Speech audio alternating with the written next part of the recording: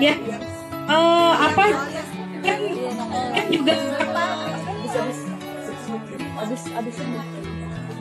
Kalau outdoor display itu eh, bisa sebenarnya bisa sepanjang ya sepanjang tema masih bisa digunakan di tema yang berikutnya juga nggak apa-apa gitu.